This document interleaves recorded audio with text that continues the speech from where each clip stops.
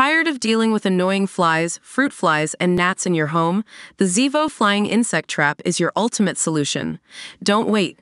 Check out the link in the video description now to get your Zevo Flying Insect Trap on Amazon and enjoy a bug free home today. Welcome back to Drama Meter, where we dive deep into the latest celebrity controversies. Today, we're unpacking the escalating legal drama between Shannon Beador from The Real Housewives of Orange County and her ex boyfriend John Janssen.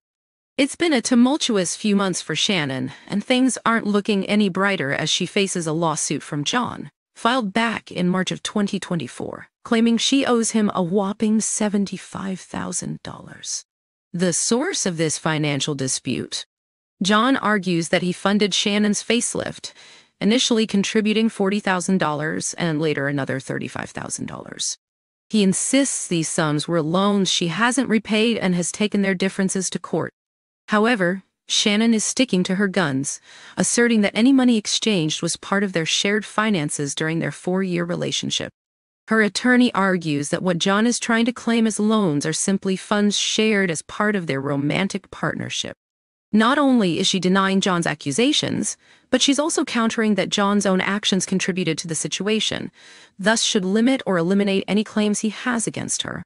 In a turn of events, both parties have agreed that mediation won't help their case, stating through their attorneys that they believe mediation or arbitration would not be fruitful.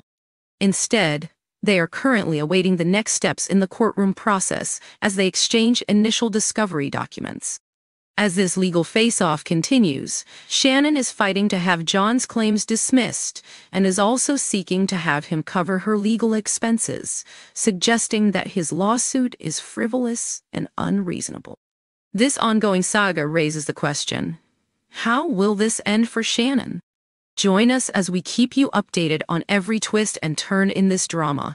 And now we want to hear from you. Are you Team Shannon or Team John?